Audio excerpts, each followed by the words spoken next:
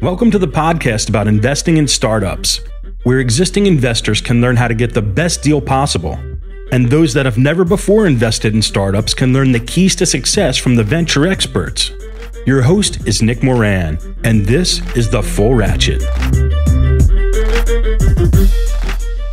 Welcome to another release of Investor Stories. On this installment, the experts talk about their investment philosophy, how they evaluate early stage startups, and how that may be unique from other venture investors.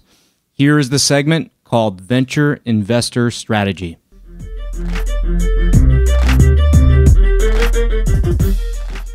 On today's special segment, we have Andrew Parker of Spark Capital. Andrew, can you talk about your thesis and also how you evaluate early stage startups for investment? And maybe mention aspects of your approach that might be unique from other venture investors? I think above all else, uh, I care about you know product, product quality, interviewing users. I was academically trained in human computer interaction, and and the biggest component of of that training involved doing a lot of user testing and you know sitting in a listening lab behind a glass mirror or you know sitting next to a given person you know in like a starbucks or something like that you buy them a cup of coffee and you you get their feedback on you know whatever prototype you've been working on or something like that. And I, I think that that experience both academically and then also in the real world i was doing product design product management for this company homestead uh, you know the, the combination of the experience that i got there translates really well to vc and and to be fairly product oriented when it comes to making an investment I, I work a, a, little bit earlier than some of my colleagues at Spark. Spark's wheelhouse, I would say, uh, from an investment thesis perspective, is is Series A. We like to be the first institutional investor in a company. We do seed stage investing for sure. It's just not a majority of what we do. I think the the check that we most commonly write as the first check is is a Series A check. Whereas for the deals that I've led on behalf of Spark, the majority is seed. And so because of that, I think you know product quality at the early stages really matters, and then it's also the team. You know, just talking to people that I'm really excited about working with and could envision working with over the course of the next five to seven years. That's that's really what you're committing to. Any big insights on either customer adoption or engagement with products that you learned at, at Homestead when you're doing VOC? It's funny, you know, it's ancient history at this point. I do think that the the qualitative side of what I learned about how customers engage with a product does translate. You know, meaning if I if I'm just talking to one user and interviewing them, I, I do think I honed some of my ability to do that while operating at Homestead. But you know, this was back in 2005, and so like our product iteration phase was probably you know 14 to 20 times longer than what the average startup is today because we would push code to our website roughly every two weeks. And like, you know, now with uh, continuous deployment or, you know, uh, a lot of the far more uh, agile means by which you can uh, build your product, most of the companies I work with are pushing code like every day. Uh, maybe not the app companies because they have the gatekeeper of Apple and the approval process there, but but certainly the the web based ones can push product every day. And so I don't know that my skill set in, in, product design translates um, to that modern phenomenon at all.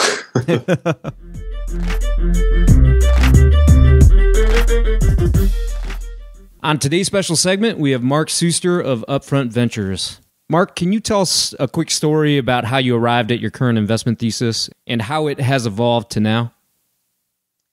Yeah, I guess if my thesis is driven by backing the most talented entrepreneurs I can, building tech businesses that want to disrupt incumbents, um, part of that was my own journey, my own mistakes. My first company, I went and sold really expensive products at high prices to big players because I knew how to do that. I knew how to get multi million dollar contracts. So I hired a bunch of expensive staff. And then I raised too much capital and raising capital means you have to constantly hit your quarterly revenue targets. Uh, so it forced me into irrational behavior because I wanted to feed the beast of the expectations that I had set. And then I watched low cost incumbents take storm. I mean, the first one was I was living in London when Skype took off. Skype took off in Europe well before it did in the US. And I saw that they had this freemium model that people were just using it. And by the time the big corporates were trying to clamp down on Skype saying, it's not secure enough and I don't want you to make Skype calls and whatever, it had already become too big. You couldn't shut it down. So I started realizing that it was a smarter approach if I could build low cost products and if you didn't hire a bunch of expensive people and if you kept your cost base down and and built market share fast um, and that only truly talented people could do that so you know I think it was really my own journey and my own mistake so when I set up my second company you know we kind of said what would Skype do you know uh, WWSD and uh, you know, this is in the early days of Skype. It informed our product decisions because we were saying, how do we offer something super cheap that spreads across organizations that eventually I can go to, you know, chief security officers or I could go to finance people or group managers of IT and say, sure, we could put these groups in so that you could uh, create a more secure environment. Um, but now you got to pay for the paid version. You know, so I think like that mentality of company one versus company two really set out my journey.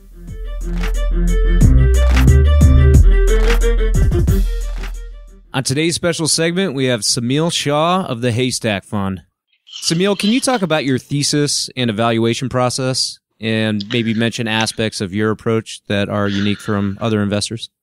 Yeah, my um, this is the, I'm excited because this is the really maybe the second time in all the funds that I've had where I've had a very, very clear focus, sector focus, and what I want to look at. Um, and that just you kind of go in waves of being in the groove or being out of the groove as an investor. So now it's a good time. So third of what I do is consumer. So there's three types of consumer things I'm looking for: uh, VR related technology, not applications, but technology. General consumer stuff where you're getting into the credit card spend of a household. And then very specific in terms of consumer spend around intercepting healthcare costs. This is just such a huge component of the economy. So people who can figure out ways to siphon off some of that money, I'm interested in. Second category would just be SaaS, you know, straight bread and butter VC SaaS, except that I look for two things. Uh, either A, they have to create a new category so that there's no other company doing what they do. And or they have to bring some type of machine intelligence to the offering that's vertically integrated into their company not that they've built on somebody else's platform. And then the third area which is kind of a quirkier area a third of my fund will be industrial software and industrial iot so this could be 3d printing software drone data or software augmented you know industrial ar uh, augmented reality products. And then it, the main types are usually distributed sensor networks that help large industry collect and analyze data. So those are the three areas that I look for investments in in this current fund. Now that could change in fund four. What do I think I do that's unique? Um, I don't know. Usually, when I get that question from LPs too, I ask them to ask the founders. I don't know. I think probably more people read what I write, which I'm very lucky for, so that people feel like they know me in some regard. I can move pretty quickly in terms of like if I'm investing in the round, I can get a lot of other people to kind of go on the back of my diligence and follow. And then, you know, I try to try to pick people a year or two ahead of time before they meet the larger VCs and people know that I have good kind of organic relationships with them. And so that if they want to go on that path, you know, I'm not going to be an axe murderer. I'll be a decent thought partner on that path. So, kind of a no harm person. I'm not sure what it is about your writing, but something about your prose, you definitely come through on a personal level. It it feels like I know you, even though this is the first time we've actually spoken. Oh, I, I don't know how you pull it off.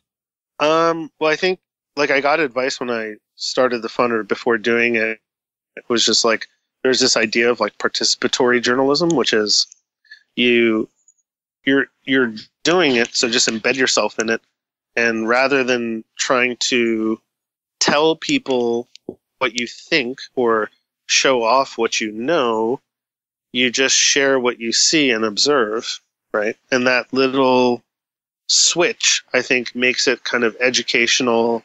It's like edutainment for people, right?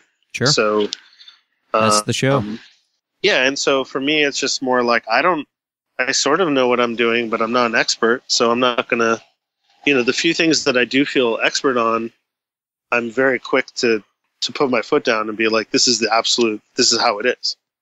But I only do that on a rare occasion. Generally, it's more like, "Hey, I don't know," but by the way, here's what I've observed. Um, so I think that that that's the technique it's it's not that I sit there and I write out of a guide. It's more just how I think, right? So Yeah, it fe- um, feels like a, a conversation. There's Oh, a hu- cool. you know a humility thanks. there. It's you're not talking at us. well, when you get when you want to invest and every single VC firm you talk to rejects you, you have no option but to be humble. Love it.